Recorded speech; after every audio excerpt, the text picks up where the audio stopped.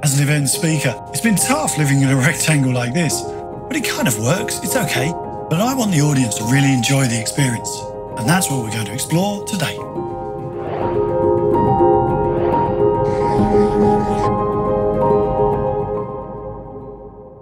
I love the fact that with a webcam, an internet connection, a few lights, I can present to audiences anywhere in the world from my home office here in the UK. But I think we can do so, so much more. You see, with the right technology, a little bit of imagination, and the right partners, we can present to audiences and engage them in new ways from any scene we choose. We're all broadcasters now, really, and thanks to accessible technology that was first developed by the gaming industry in Hollywood, I can talk to you like this from a forest while actually being in a studio in London.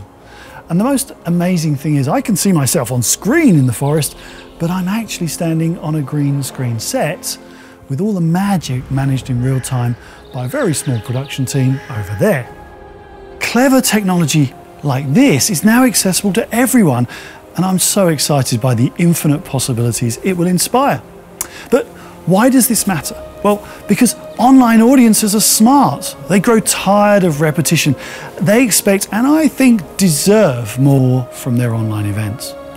And importantly, broadcasting from a virtual stage like this helps people like me to convey a message with more power and impact than through a little webcam at home. So, welcome to a new world of possibilities. Welcome to wherever you want to be.